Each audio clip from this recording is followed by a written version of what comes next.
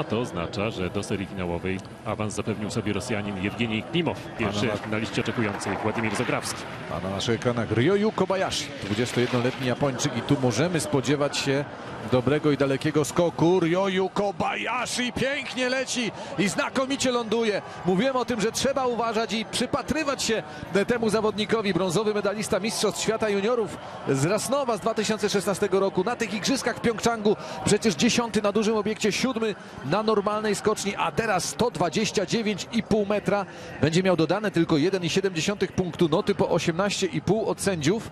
Skoczek, który no, w tym sezonie 12 był w Oberstdorfie, 16 w Zakopanem. E, ta końcówka, druga część sezonów zdecydowanie należy do Ryoyu Kobayashiego, jeżeli chodzi o Japończyków. E, Pierwsze miejsce oczywiście